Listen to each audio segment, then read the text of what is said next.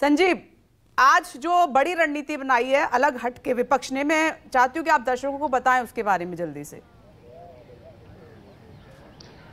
देखिए, तमाम दल आज मल्लिकार्जुन खड़गे लीडर ऑफ़ अपोजिशन उनके चेंबर में मिले और पिछले दो दिनों से जो रणनीति थी, उसमें कोई बहुत बड़ा बदलाव है, ऐसा नहीं है। और तय यही है कि जवाब मांगा ही जाएगा। जवाब किस बात का? देखिए, प्रश्न ये है कि किसी कंपनी विशेष की बात नहीं हो रही है। प्रश्न ये है ओपोजिशन का कि आप इस बहस से क्यों भाग रहे हैं, जिस बहस को हम चाहते हैं कि कराए।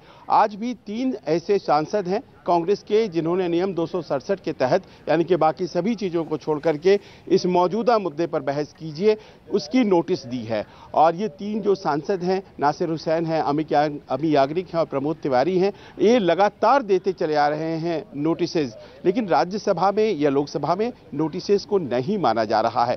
ऑपोजिशन बार बार कह रहा है कि अगर आप नहीं मानते हैं तो यहीं से तो शक की गुंजाइश शुरू होती है। आप हमारी नोटिस को मानते क्यों नहीं हैं? आप बहस क्यों नहीं करते हैं कि बाज़ार में इतना बड़ा उतार चढ़ाव है?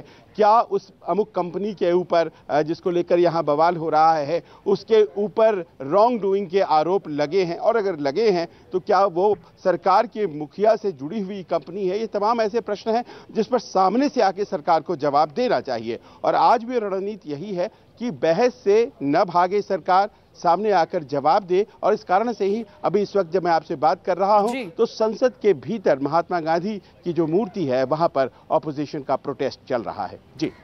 नमस्कार मैं हूँ मानक गुप्ता। अगर आपको हमारा ये वीडियो पसंद आया हो तो इसे लाइक और शेयर ज़रूर करें। और हाँ हमें सब्सक्राइब और फॉलो करना ना भूलें ताकि आप देश और दुनिया की कोई खबर मिस ना करें। तो जुड़े रहिए हमारे साथ और देखते रहिए न्यूज़ 24